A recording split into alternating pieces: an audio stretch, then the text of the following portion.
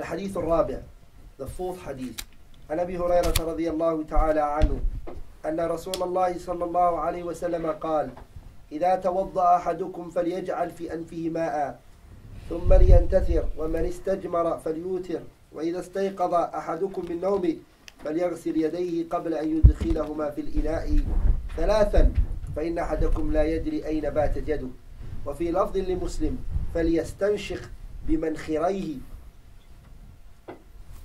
بمنخريه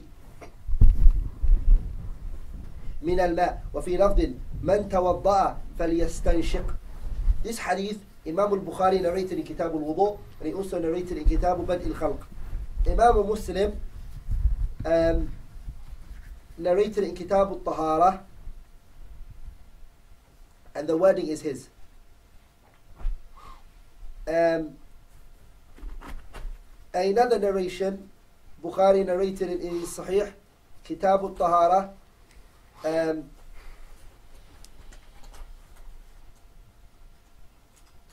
and another narration Imam al-Muslim uh, Bukhari and Muslim both of them they narrated with the word فَلْيَسْتَنْ فَلْيَسْتَنْثِرْ both of them okay and also Daraqutni narrated the hadith in his Sunan Kitab al-Wudu but the way where it says in the hadith um, وإذا استيقظ أحدكم من نومه فليغسل يديه قبل أن يدخلهما في الإناء ثلاثا That word ثلاثا is not in the wording of Bukhari. Zarkashi pointed that out in his Nukat al al-Umdah. He said that is not the, uh, the tathlith. ثلاثا is not in Bukhari. Is not in Bukhari. That is the wording of Muslim. Bukhari did not mention the three. His كتاب المعتبر said واللفظ ثلاثا لم يرويها البخاري ومن ذكرها في المتفق عليه كصاحب العمدة فقد وهم the Sahabi that narrated the hadith is who? Abu Huraira we took his biography in the second hadith what does this hadith talk about? it talks about or it clarifies matters pertaining to the different types of tahara and their rulings the wordings of the hadith the Prophet ﷺ said إذا توضأ Here the Prophet ﷺ said if one of you does wudu صحيح? That's what he says Does he not say that? If one of you does wudu um, if one of you does wudu أحدكم فليجعل let him place in his nose water but in the Arabic language if you say توضأ إذا توضأ it slightly might seem like it's a past tense so that's why they add to the verse إذا أراد when he wish wills to what إذا أراد when the person wills to do wudu and he goes to do it it's like the verse where Allah subhanahu wa ta'ala he said فإذا قرأت القرآن are you all with me if you have read the Quran فاستعذ بالله seek refuge in Allah you've already read it Allah says فإذا قرأت القرآن if you have read the Quran فاستعذ بالله seek refuge in Allah how does that work you will say فإذا أردت قراءة القرآن if you if you want to and you are going towards wanting to recite the Quran then say أعوذ بالله من الشيطان الرجيم so the Prophet ﷺ said إذا توضأ so we say إذا أراد الوضوء if the person wants to do wudu فليجعل let him place the lam in the word فليجعل that lam is lam أمر it's an order place in your nose ha place فليجعل what does it mean فليجعل it means place it means what place فليجعل what do you what does it mean فليجعل it means فليجعل في أنفه ماء the other wording of Muslim explains it what does it mean أي فليستنشق ما معنى استنشاق استنشاق is to take the water like this and is to dip on your, your nose inside your hand like this and you, you, you sniff it up into your nose that's called that's called istinshaq istinshaq is to put the water up because the riwayah of Muslim mentions the one the top hadith it says فليجعل في أنفه ماء let him place water on his nose the other wording it says فليستنشق بمنخريه the minkhar is this your, your nose this is منخريه من الماء on top of here on top of your nose here from here upwards is called minkhar So place the water over there. And ثم لينتثر. And then after that, do and um, do um, as the Prophet ﷺ said, فلينتثر. What does it mean فلينتثر?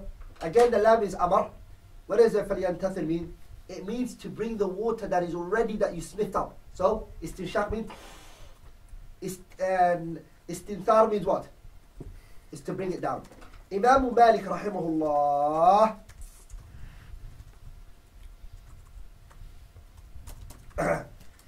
Imam Malik rahimahullah.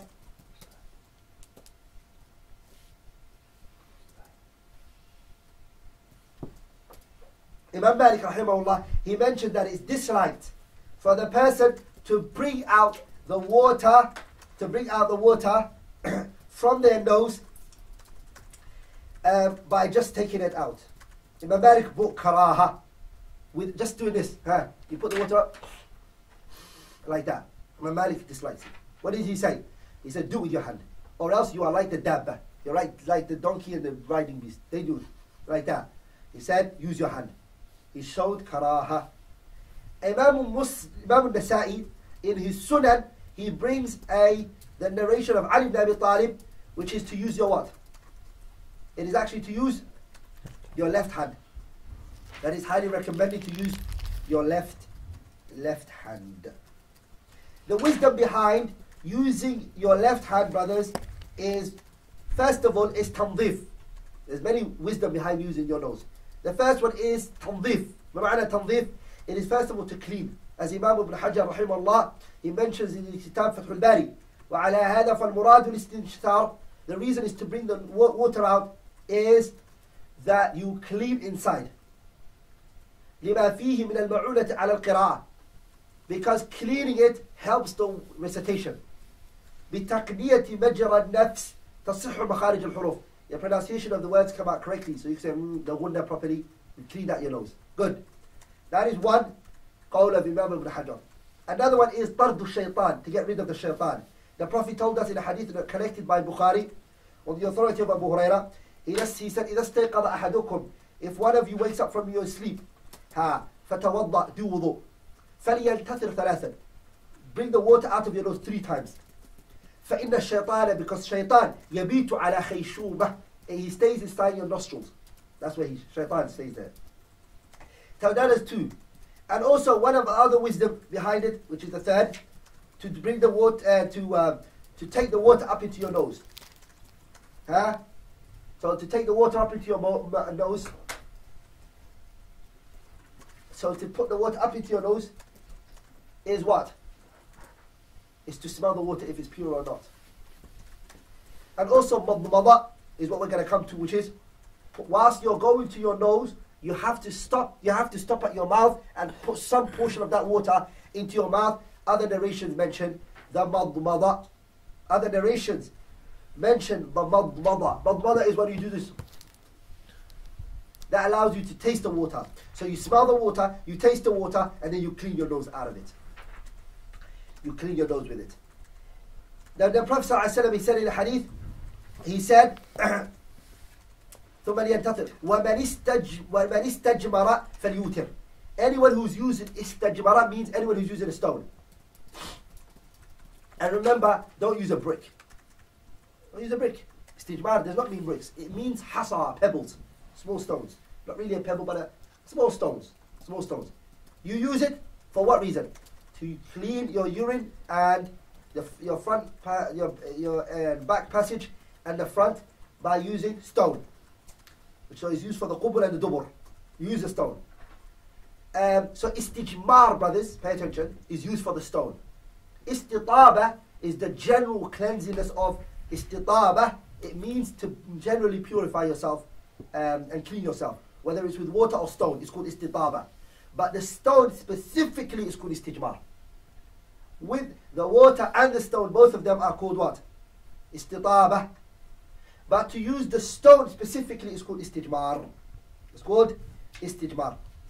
The Prophet ﷺ said, وَمَنْ istajmara Anyone who uses stone, فَلْيُوتِر You do an uh, odd number. So what do you do? Three. If it's clean with three, So it starts from three. And we're going to come to later, the other narrations say three. It starts from three. So three. Is it clean with three? You can stop.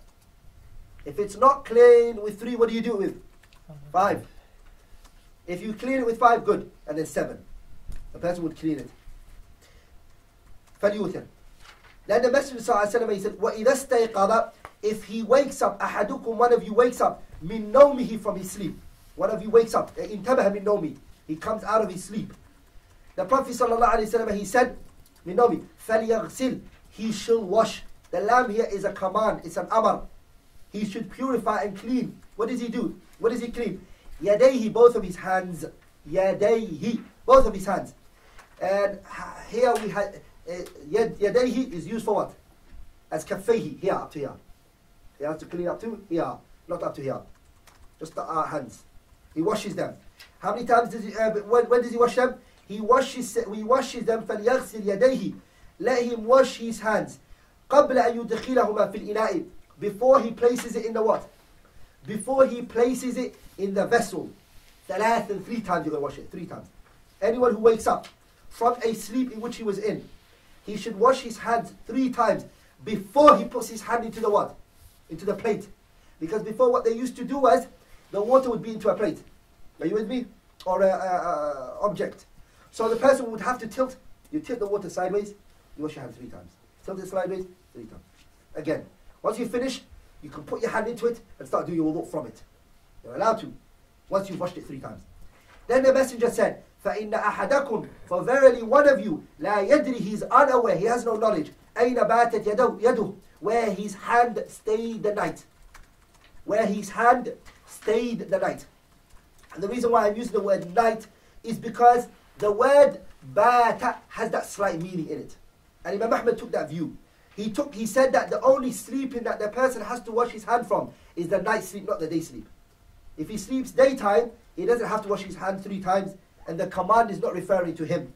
Some of the scholars said, the hadith, the illah, the reasoning why it wasn't permitted is because lack of knowledge of where your hand was. So when it's nighttime or not, no one ever knows where their hands are. So they said the illah is present in both of them. And the reason why it was used at nighttime is kharaja makhraj al-ghalib. Again, because the majority of the sleeping that the people do is the sleeping of the night. And not that Daytime is not part of it. Rather, it is. And that seems to be stronger. That view seems to be stronger. In this hadith, brothers, if you ponder, this hadith refers to three types of complete purity. Three types of complete purity. The first one is takmilu taharat wajh. It is to complete the purity of the face. The purity of the face in the wudu by doing istinshaq and istinthar. Taking the water in and letting that water out. One. Two. تكميل طهارة السبيلين. Purifying the uh, your um, your genital, your private part, that which comes out from both passages. So second purity by cleaning it um, with either a stone, نعم, and using it on odd number. Number three, غسل اليدين, washing your hands بعد القيام من النوم, after waking up from a sleep before you place it into the vessel. Because the one who is sleeping is unaware of where he has spent his sleep. He doesn't know. So those three. Those 3 mm-hmm. Fiqh al-hadith. The fiqh that's taken out of the hadith. One, al-anfu min al-wajh. The nose is part of the face. Fil wudu in the wudu. Some of you might think, of course that is. Well, no. Your nose is part of your face. Is there a dispute about it? Yes, there is. Uh, not that the nose is part of the face, but whether the f- nose has to be the, the, the istinthar and the istinshaq if it's wajib. Some of the ulama said it's not wajib. And what was their evidence? They said because Allah said in the ayah, فَغْسِلُوا وُجُوهَكُمْ Wash your faces. Allah did not mention in the verse, wash your, your nose and your mouth. Mm. The scholars, they said, la. The ayah said it generally, and the hadith narrowed it down that the nose is useful. Because the nose is part of the face. So if Allah told you to wash the face, then the nose has to be washed as well. So there's no khilaf in this issue. Two, sifatul istinthar. The hadith also clarifies the way to do the istinthar, which is what? To take the water, to put it onto your nose, and then to take it up into your nose. And the sunnah has also, the hadith has also mentioned, sorry, the istinthar, by making sure that the water comes out. Now, another issue that we need to know is that the istinthar, as I said, which is to take the water up your nose. And the madmada, the istinthar means to take the water up.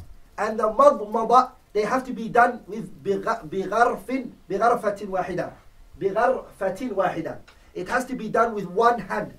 So you don't do the mouth and then after that you don't do the nose. That the water that you took one, that water you use it, a bit of it goes into your mouth and the remaining goes into your nose. That is the sunnah of the Messenger sallallahu alaihi wasallam. And as I mentioned before, an Imam Malik, it was narrated from him that it's disliked for the person to bring out what is in their nose, the istinthar, without using the hand. Because يشبه فعل الدابة It's similar to the um, beast. Number three, the wisdom behind istinthar. The wisdom that is behind bringing out what's in your nose. As I mentioned, the one of the wisdom is at-tanzif. It is to clean your nose. And I mentioned the call of Imam Ibn Hajar rahimahullah in Fathul Bari. Because when you clean your nose, your pronunciation of the verses and that which you want to say uh, in the recitation of the salah will be very good. Number two, uh, this, this, is the third point, uh, which is the wisdom behind istinthar. Also, tard shaitan, you're, you're getting rid of shaitan, which spent its um, time in your nose. You get rid of him. Number four, brothers. Number four, الاستنجاء مخير فيه المرء بين الماء والحجارة. Number four, the istinja, to purify yourself after you've done your call of nature, you have the choice if you want to use water or stone. You have the choice. You don't have to use water, you don't have to use a stone. You can choose whichever one you want to use. Meaning, not, not one of them is mandatory on you specifically. You can choose whichever one you want. You can choose whichever one you want, you choose. So it's not like you have to use the water if the water is present and you're not allowed to use the stone. And you're only allowed to use the stone when the water is absent. No, that's not the case. You can use whichever of the two you like, no problem. And now, the stone, what takes its place is tissue. If you use any tissue by itself without using the water, huh, you're allowed to. Like you remember, are you really clean? The answer is no, not really. And some may argue, yes, you are, but it's better to take tariqul ahwat, the safe path, to do both of them. If you have both, use them. You have water and the tissue, use both of them because it's complete. Five, غسل اليدين, washing the hand قبل إدخالهما, before you place your hand into the vessel is mandatory. Because the person does not know where his hand spent the night. The person does not know where his hand uh, spent the night. and I also mentioned that Imam Ahmed rahimahullah he believed that there's a difference between the sleeping of the night and the sleeping of the day if the, the, he said that the night you need to wash your hand and the day you don't need to wash your hand the reason he said because the Prophet used the word لا تد لا يدري أين با باتت باتت is used when a person wakes up from the night sleep. It's used for the person when he wakes up from the night sleep. But the ulama they said خرج مخرج مخرج الغالب and the illah is mushtarak. The reasoning that was mentioned for the day is also present in the night, which is what? لا يدري أين باتت يده. It's not like any one of them you know where your hand was. Six istihbab that is highly recommended غسل النجاسة is highly recommended to clean the najasa the pure, uh, impurity because uh, ثلاثا three times it is recommended for you to clean anything that's impure three times it's recommended because we were ordered in this hadith to do it three times to do it three times number seven وجوب الوضوء من النوم that it's mandatory to do wudu after coming from the sleep. After coming from the sleep. That sleep, is it, are you with me? is it the sleep where you lie down, or is it sleep that you sit down, or is it that is a bath, a research that is very long. But the zahir of this hadith shows, regardless of what sleeping you go through, huh, your salah is broken. Whether you're sitting, whether you're lying down, whether you're um, on, in the position. Your, and there is aqwal regarding it. So the mas'ala needs tafsil and observation. But we will mention that inshallah in another book of fiqh. Number مشروعية number eight مشروعية إيتار لمن استنجى بالحجارة فالمطلوب قطع الاستجمار على وتر ولو أنقى بدونه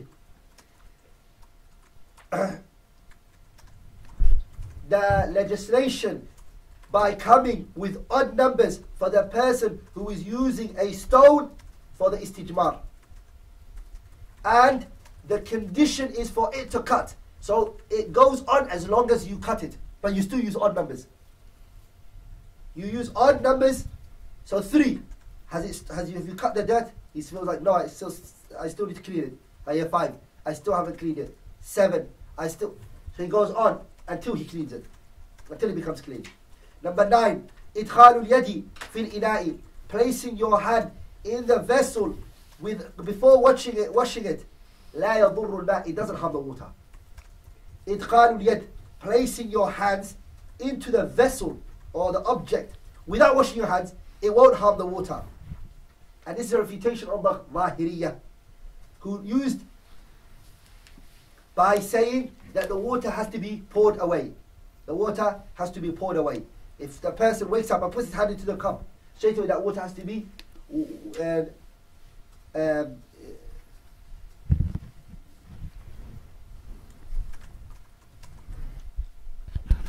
Number 10, the completeness of the Sharia in giving consideration to purifying oneself. Number 11,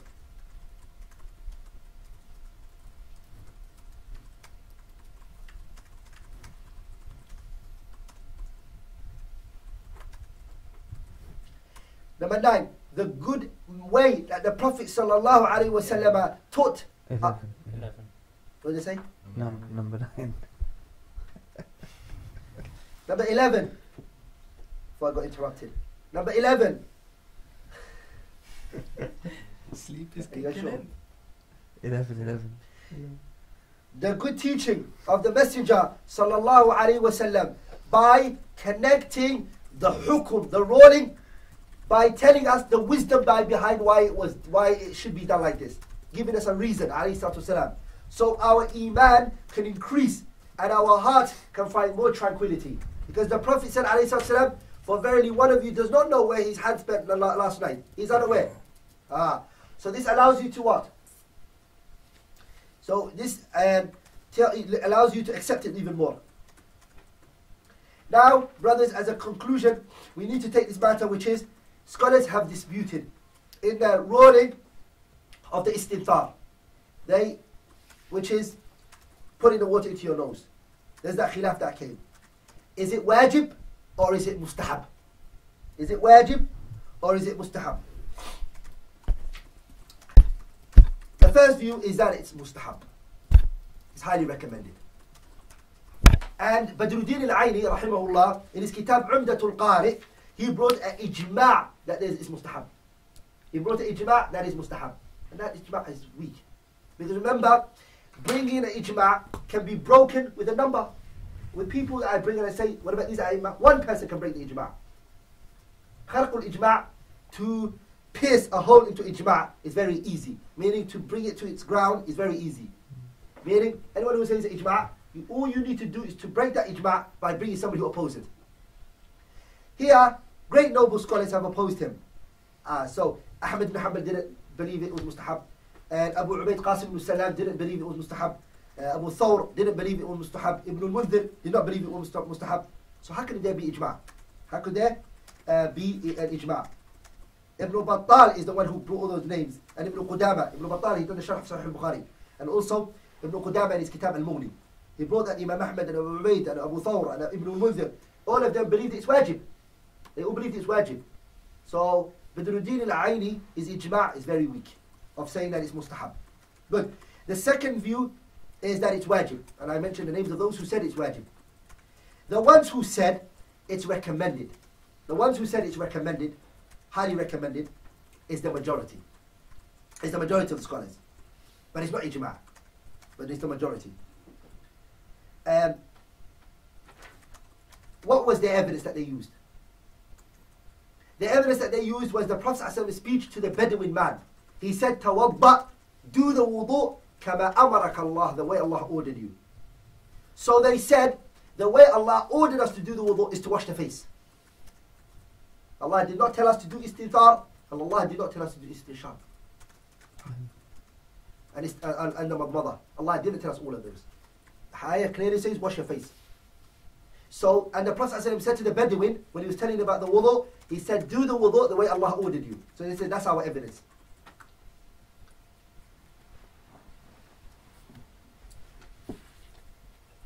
Also, um, the second view. the second view is that it's wajib.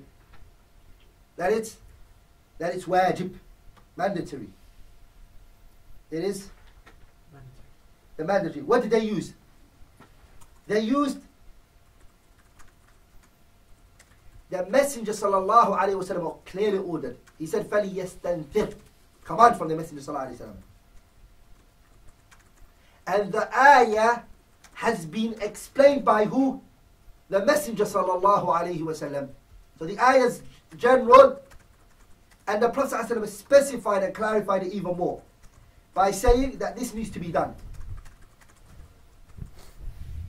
The second argument that they brought was whenever the Prophet ﷺ as a character, the way he done the wudu was mentioned, never has it been missed the fact that he done the istinshaq and the istinthar.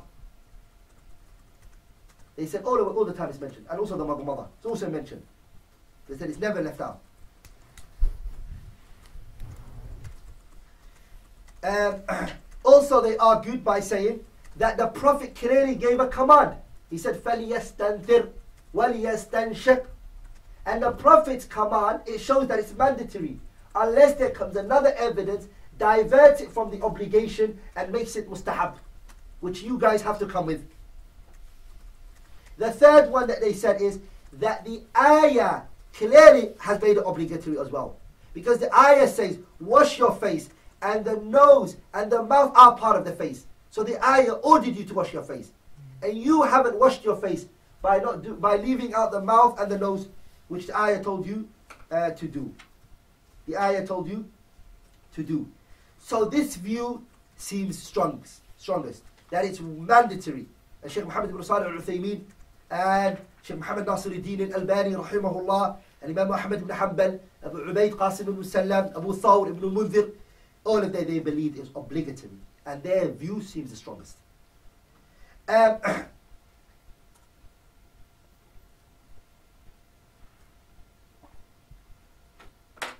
the issue regarding the sleeping again that I mentioned before, but now I'm going to go into a bit more, which is the sleeping in which the person is obli- it is it is mandatory on him or her to wash their hands.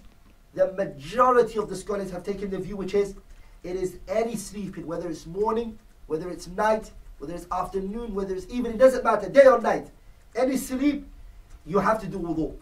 And they used the ayah, the hadith itself, إذا استيقظ أحدكم من نومه from his sleep. From his sleep. They said from his sleep. Sleep. The Prophet ﷺ generally said his sleep. Ahmad ibn Hanbal came and said, no, the sleeping is meant by the night. And he said because the be- word that is used is meant by the night. So he said, I have brought a specification on the general that you guys are using. So my specification takes precedence over your general statement. And in that case, you all have to take my view in saying that it's uh, only at night. The scholars, they said, no, there is nothing, there's no khusus or umum that is here. The umum has not been, by, it has not been diverted by a khusus. Rather, the umum still remains at its umum. Because kharaja makhraj al-ghalib. It means that the majority of the people, they sleep at night time. Rare- Not everyone sleeps at daytime. And they don't get the chance to sleep at daytime. A lot of people, they don't get, they don't get that time. They sleep, but people have in common that they sleep at, at night time. So that's why the Prophet ﷺ said that. And he used that particular wording. And also, the hikmah, the wisdom why the nighttime and uh, the wisdom why nighttime it would require for you to wash your hands is also the same wisdom why it would require daytime for you to wash your hands. Both of them are the same. Now.